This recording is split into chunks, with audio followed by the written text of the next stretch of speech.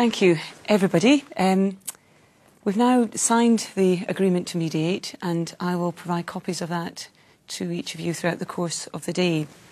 The purpose of this meeting now, of us getting together, is for you both to make opening statements if you wish to, and for your solicitors to do so as well, which will help me in understanding what the issues are that we need to explore today, uh, but perhaps more importantly, to allow each other to hear, maybe for the first time, just what the issues are and how they have affected you and your commercial enterprise. Now, before I ask you to make an opening statement, there are just a number of things that it would be useful for me to say at this point. The first is that mediation is voluntary and you're only here because you want to be here, and I'm delighted that you are here today. I am a great believer in mediation. I wouldn't be sitting in this chair if I wasn't. And I would like to encourage you in what you're trying to achieve today. Over 80% of cases that come to mediation resolve within a day. And I think that's a very encouraging note to carry around with you throughout this day, which will be a hard day and taxing in lots of different ways. But we're working towards a solution of a problem that both of you have. The other thing I want to talk about is confidentiality, and I have mentioned that briefly with your solicitors when we met. And that is that everything that's said here in this opening session, and perhaps even more importantly, when I meet with you privately, is confidential and private. That means I am not at liberty to speak to anybody about what's been said to me unless you specifically authorise me to do that. Now, I hope that that would mean that you would feel able to speak to me frankly about the issues that you have, the strengths of your case, the weaknesses in your case, all the issues that surround the dispute. Because if I understand fully what you're experiencing and how it's affecting your company, then hopefully I can assist you in finding a solution. Authority is something I want to touch on now. Um, can I just ask you, Hans, do you have authority to settle this matter today if we got to that stage on behalf of, of Cower Management? Yes, I certainly do. Yeah. Good. I have the complete authority of the company and the, the backing of everyone behind me. Okay, that's very helpful. Jay, what's your position? Uh, my managing director is abroad at the moment, Yeah. but he has authorised me to conduct this meeting. I've got instructions for that, but um, it's very, we're very keen to get a proposal made today. So I would co- I have means of contacting him abroad to get any final sort of decision okayed by him. Okay. Leslie, I don't know what your position is and what Jay's just said about authority there. Do you have any comment you want to make on that?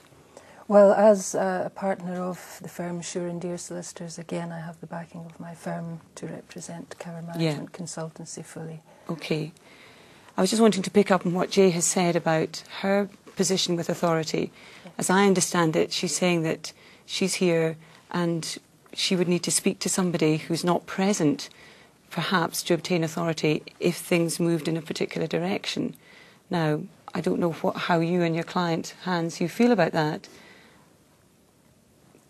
Do you have any comment on that, or are you quite content to proceed on that basis? Well, at the moment, I'm quite content to proceed. Okay. How contactable is this individual and who is it, Jay? Can you just give us a bit more information? Um, it's it's my immediate superior. Mhm. Um, his name's James. He's James Brown. He's the managing director of 3WP. Right. Business is taking him abroad at the moment. I have a, a contact number for him, which I believe I can get from his family home. So I've, I've certainly spoken with my clients before they came, and he's Yeah. going to make himself available, so he will be at the end of the phone line, and Oh, that's can fine. be reached he is away. just very aware of what the proceedings that are going on today. He can't be physically present just now, but Yeah. he definitely will be contactable Yeah, if we it's not very the appropriate, is it? No, it won't hinder us in any way at all. He is contactable at the end of the phone line. He, sh- he actually should have been here in the first place. Well, no, because um, Jay here knows, you know, as much if not more about the actual day-to-day running of this contract. That's okay then. So you're confident a decision can be reached today Yeah. by means of contact? Yep. Yes, Okay. that's fine.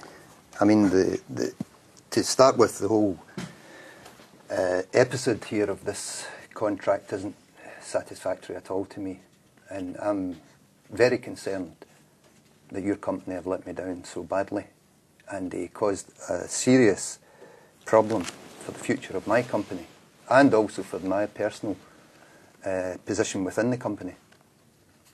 So that's why I'm quite concerned about uh, your managing director not being here. Mm-hmm. I respect that you're being, that you're here and you're trying to organise uh, the, this final conclusion between us through Yeah. the good offices of uh, Pam here. Um, but um, I hope that we can sort this out. Yes, similarly, that's what, uh, why we're here today. Hope to reach an, an agreeable conclusion Mm. that it's satisfactory to both parties. Yeah.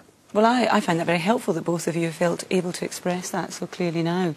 Um, in the agreement to mediate, which you've just signed, it clearly states that all parties will use their best endeavours to try to resolve the dispute, and it's been very good to have that underlined by what both you, Hans, and Jay have had to say. So thank you for that.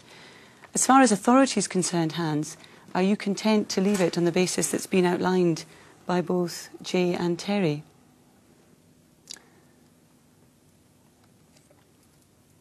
Yeah, as long as um, uh, an amicable solution can be found at the end of the day. hmm Okay. And then really, at the, as, at the end of this day, I want to get this sorted out. Mhm. I don't want to take it any further than that, than today. Yeah. Well, I'm sure that is what we are all hoping to achieve is that tomorrow when we wake up, we won't have this dispute. You won't have this dispute. That, that, that will be behind you in that sense.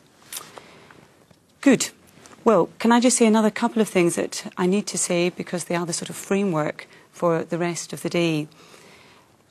As I think you know, but I need to emphasise everything that's said is also non binding until an agreement is reached if, and I hope we do get to that stage where you have worked out a resolution to the problem, then I would ask Leslie and Terry to be involved in actually drafting the terms of the agreement between the two companies.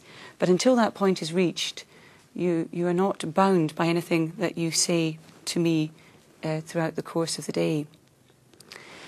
And also, anything that happens here today doesn't affect any rights that you may have out with this mediation process. I'm not sure what, what, what the stage is with any litigation process. Terry, can you fill me in on that? It's just at a very early stage where a, a writ's been served uh, on my clients. We've lodged skeletal defences but not gone any further Right. than that as yet. I think we were sort of hoping that perhaps we could explore the possibility of the matter being settled now rather than um, the court action running its full length. Yeah. Okay. Well, the fact that you have this litigation process um, is not affected by what happens here today. Any rights that you may have to pursue or defend that action are re- retained, and I think that's important for me to stress that. And it's also important for me to explain my role that I'm not here to make any decisions or evaluate anything that is said to me. There's no right or wrong here. I'm here to assist you. So I am not judging what has happened in the past or coming to any view in it. As I, as I say, and I'll, I'll probably keep saying throughout the course of the day, it is for you to find the solution to your own problem. Now, can I just explain a little bit about the day? Um, in a minute, I'm going to invite you, as you know, to make brief opening statements uh, of the position as you understand it. And once we've all had the opportunity to hear those, we'll then go into our separate meeting rooms again, and I'll meet with you there and uh, take a little time exploring some of the issues that have been raised. Uh, and that will really be the way the day will proceed from then on. I'll meet with, with one party and then I'll meet with the other party. There may be times when it's useful to come together again. Uh, it may be useful at some point for me to meet simply with the lawyers or simply with you, Hans and Jay. Well, the process is flexible and we have to make it work for us. But that gives you a little idea of what may happen throughout the rest of the day. Is there anything on that that you want to ask? Anybody? No? No. Well, uh, is there anything you would like to say? I think everything's clear at the moment. Yes, Okay. Thank you. Is that all right, Hans? Mm-hmm. Yeah. Okay. Well, could I ask you now to make your opening statement? And since Cower is pursuing this case, as I understand it, could I ask you, Hans and Leslie, to make your opening statement? Mm-hmm. I know that you've discussed this between yourself as to who's going to speak, so I'll hand over to you now. Yeah. Well, um, first of all, you know, our company have been uh, badly let down Mm. by this project, and uh, we're a, f- a forward-thinking company and quite dynamic in the international stage. And I feel that um, your company have mismanaged this whole project and let us down very badly, and you've put me in a very difficult position as regarding the media and the press. And, and I'm talking about not just locally, I'm talking about all over the world. And I feel very let down, and I feel that uh, we should be, my company should be compensated because of the lack of positive direction that your company have taken. Would you like me to summarise the basis of the, the contract between the companies? It's entirely what, what you want to say at the moment, Yes, Leslie. I have right. seen the contractual papers, those are available, and we can certainly Yes. refer to those throughout the course of the day. Yes. If you think it would be helpful to do that, please, please feel free to do so. Just a, a brief summary of Mhm, what the, yeah. the contract, the, the reason for awarding the contract. It was about a year ago, Cower Management Consultancy wished to have a website designed whereby they could take their European business into the world market and to have a fully interactive website in which the subscribers could gain access on online. And to begin with, everything was going swimmingly, but then the end result was that the work wasn't completed on time for a planned launch with uh, investors and subscribers. It was a major event which was planned for four months from the contract. It wasn't completed in time and the standard wasn't satisfactory. And this is where Hans here has been concerned that there has been loss of business, loss of face, and that's what has really basically brought us here today. Okay, thank you very much. Can I ask Jay and Terry if you would like to speak? Uh, well, I think it's all very well talking in general terms um, about being let down, etc. But the, the problem here was that the contract which your company entered into, Hans, it didn't fully specify the technical detail of what you required. And it was agreed by everybody um, at the time that the contract or the, the, the job as it was ongoing would need a lot of input from your company, technical expertise and advice, etc. And that wasn't forthcoming. So I'm not sure whether you're aware of that or not, but it wasn't a case where you just gave my clients the contract and, and left it there. Your, your firm are, were meant to assist in giving more technical detail and didn't do that. And in actual fact, the main problem thereafter was that Cowers um, delayed in making payments that were due in terms of the contract. Payments had to be made at stages as the job progressed. And in particular, there was a £100,000 interim payment that was due and which wasn't paid. And it was about a month late it was eventually paid. And the contract, again, dealing with specifics, the contract specifically provided that the time for making that payment was material and it was of the essence of the contract.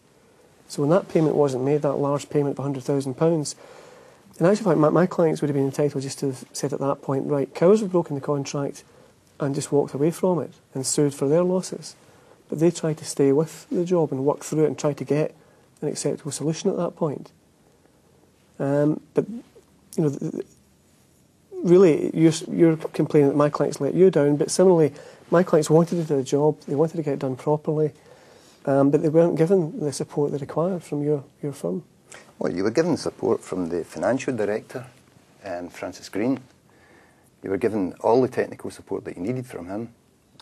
That's, that's not actually true in terms of all that we needed. There was some, but I understand you had some staff changes at Cowers.